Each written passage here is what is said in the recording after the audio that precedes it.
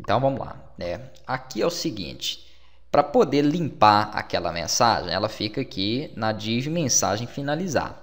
Nós temos no arquivo checkout.php aquele script abaixo que pega a modificação. Quando você muda, altera o código serviço, que é aquele, aquele input, né, select ali, ele executa os cálculos e faz tudo isso. Nós fizemos do zero, fomos testando, né, foi um pouco chato por conta das conversões e tal, mas beleza, chegamos no resultado esperado.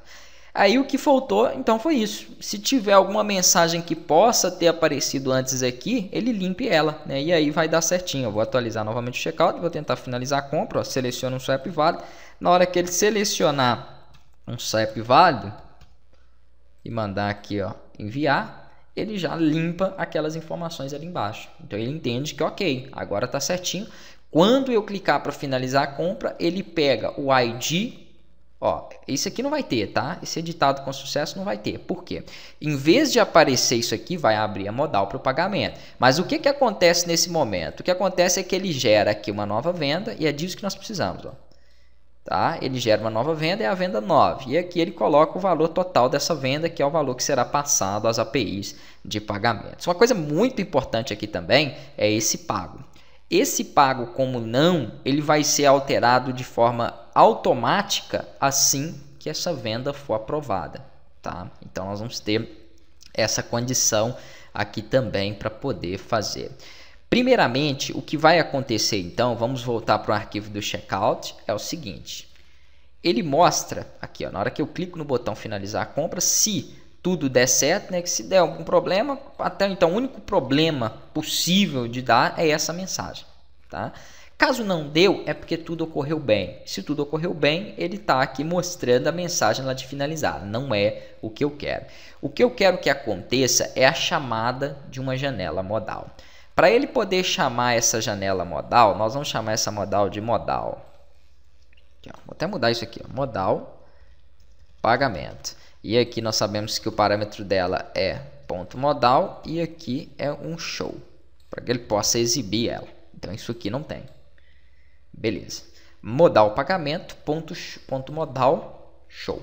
E tem outra, a outra possibilidade que é o hide para você poder ocultar aquela janela. Agora nós faremos o seguinte, aqui eu acho que eu não tenho nenhum exemplo de modal, é, não tem porque não teve necessidade. Então eu vou colocar aqui, pode ser antes dos Ajax, onde eu gosto de colocar as modais, essa modal para nós podermos trabalhar. Eu não tenho né, dentro desse arquivo aqui nenhuma modal para poder usar para pagamento. Eu tenho uma pronta que eu utilizei no meu portal e eu vou estar tá pegando ela e passo aqui para vocês, ó, para vocês terem sempre os mesmos arquivos que eu. Se você quiser, pode pegar do meu. Eu vou aconselhar você a abrir esse arquivo checkout e já pegar ela modificada, tá? Ah, não, mas eu quero fazer do zero aí, igual você está fazendo. Então, beleza. Vem aqui. Ou então que pode criar realmente do zero outra modal diferente. Não tem que trabalhar com essa. Modal pagamento.